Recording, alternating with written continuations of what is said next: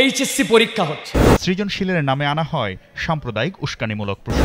আর সাম্প্রদায়িক এই সম্প্রতি বিনষ্টের ষড়যন্ত্রের জন্য এই কাজটা করেছে। তিনি আবার এই আপনাদের এলাকারই একজন হিন্দু শিক্ষক সব ধরা পড়ে গেছে। এখন গভর্নমেন্ট তার কি শাস্তি দেবে না দেবে সে গভর্নমেন্টের ব্যাপার।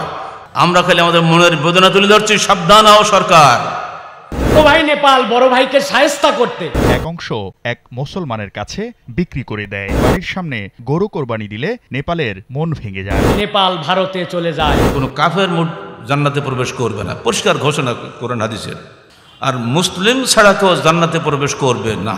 ভাষায় যদি আমাদের ঐক্যের মূল থাকে তাহলে পশ্চিমবঙ্গ থেকে হাজার হাজার মুসলমান বাংলাদেশে চলে আসছে কেন?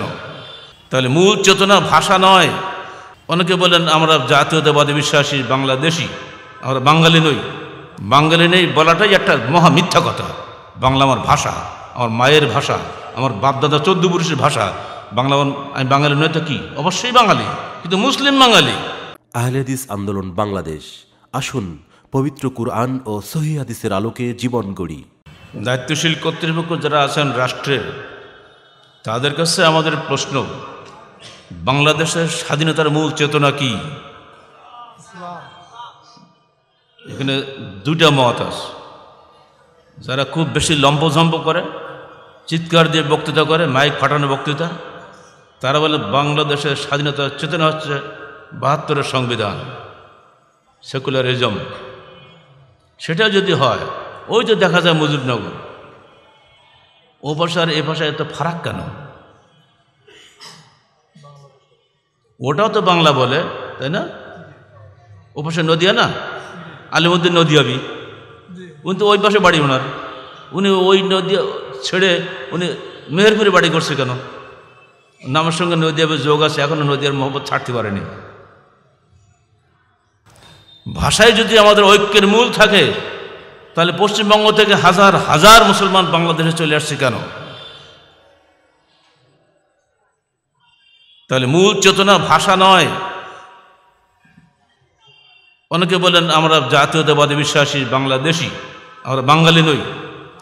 বাঙালি নেই বলাটাই একটা মহা মিথ্যা কথা। বাংলা আমার ভাষা, আমার মায়ের ভাষা, আমার বাপদাদা চোদ্দ পুরুষের ভাষা।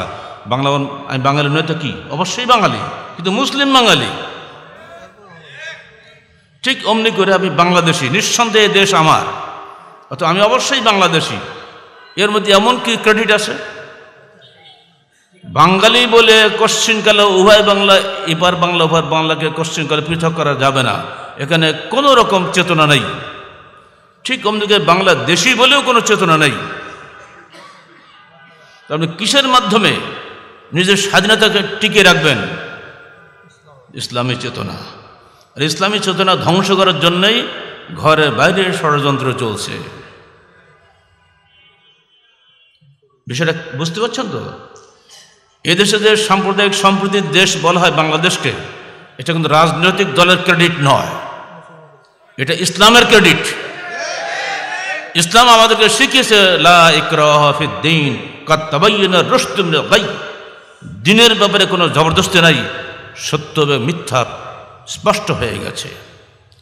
আমার রসুল মোহাম্মদ সাল্লা সাল্লাম তার জুতো কালি করে দিত গোসিয়ে দিত, উজুর পানি এনে দিত একটা ইহুদি বালক। উনি একদিন শুনলেন, বালকটি অসুস্থ হয়ে গেছে।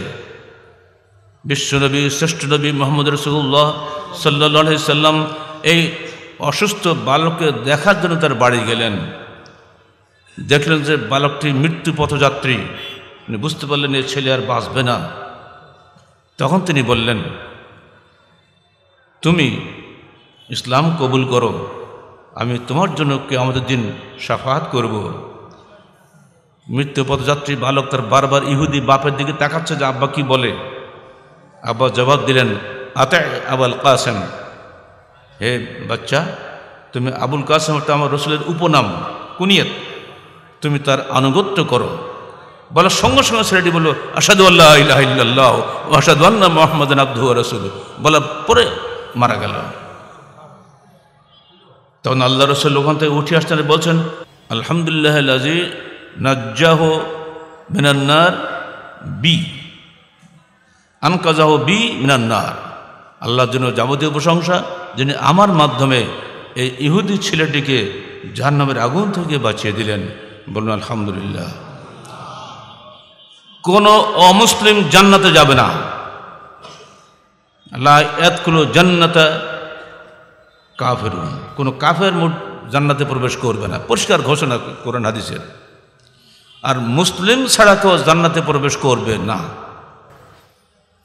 আর এই জন্যে তিনি বললেন, তুমি যদি মুসলিম হও, তাহলে আমি তোমার জন্য আল্লাহর কাছে সাফাত করতে পারব। আর না করলে কোনো চাপ নেই। এই ছেলে এতদিন পর্যন্ত তার ঘরে কাজ করেছে, কোনোদিন তিনি তাকে বলেননি, চাপ দেননি তুমি মুসলমান হও। এটা হলো আমাদের রসুলের আদর্শ আর কোরআনের নির্দেশ। আর এই কারণেই মুসলমানরা ধর্মীয় কারণে বিধর্মীর উপরে কোনো চাপ প্রয়োগ করে না। বরং শত শত বিধর্মী ইসলামের সৌন্দর্যে মুগ্ধ হয়ে মুসলমান হয়ে গেছে। আর সাম্প্রদায়িক এই সম্প্রতি বিনষ্টের ষড়যন্ত্রের জন্য এই কাজটা করেছে। তিনিও আবার এই আপনাদের এলাকারই একজন হিন্দু শিক্ষক, সব ধরা পড়ে গেছে। এখন গভর্নমেন্ট তার কি শাস্তি দেবে না দেবে সে গভর্নমেন্টের ব্যাপার। আমরা খালি আমাদের মনের বেদনা তুলে ধরছি, সাবধান হও সরকার।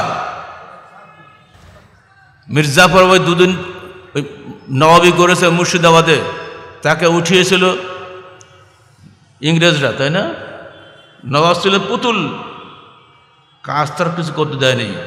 আমাদের সরকার যেন পুতুল সরকার না হয় কারোর, স্বাধীন সরকার হতে হবে, দায়িত্বশীল সরকার হতে হবে, অবশ্যই তাকে শক্তিশালী সরকার হতে হবে।